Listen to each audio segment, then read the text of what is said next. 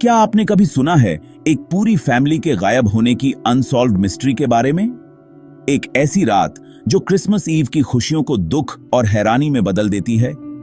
1945 में एक रात ऐसी भी थी जब सॉडर फैमिली के पाँच बच्चे एक आग के बाद अपने घर से ऐसे गायब हो गए जैसे वो कभी थे ही नहीं।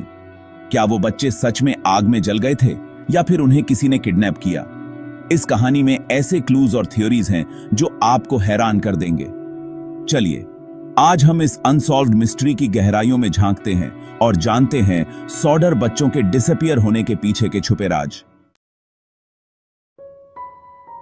Sodder family West Virginia, USA में रहती थी। जॉर्ज और जेनी सॉडर के दस बच्चे थे।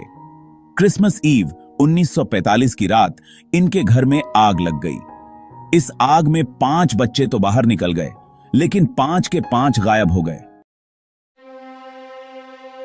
जेनी सौदर को याद था कि उन्होंने आग से पहले घर की फ़ोन लाइन बिज़ी सुनी थी, जबकि उस वक्त घर में कोई भी कॉल नहीं कर रहा था। आग बुझाने के बाद इन्हें घर के अंदर कोई लाश नहीं मिली।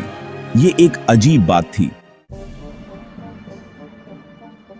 इस मिस्ट्री को लेकर कई थ्योरीज हैं। पहली थ्योरी कहती है कि बच्चे जीवित हैं और उन्हें किडनैप किया गया था।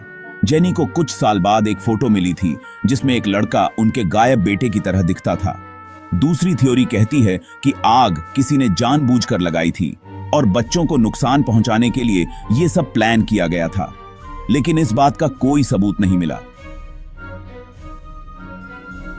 सॉडर फैमिली ने प्राइवेट इन्वेस्टिगेटर्स भी हायर किए, लेकिन उन्हें भी कोई सॉलिड एविडेंस नहीं मिला। जॉर्ज सॉडर ने कई साल तक बिलबोर्ड्स लगवाए ताकि किसी को उनके बच्चों के बारे में कुछ पता चले। आज तक इस केस का सच सामने नहीं आया है। सॉडर बच्चों की कहानी एक अनसॉल्व्ड मिस्ट्री है, जो लोगों को हैरान करती है। क्या वो बच्चे ज़िंदा हैं, या फिर किसी साजिश का शिकार हो गए?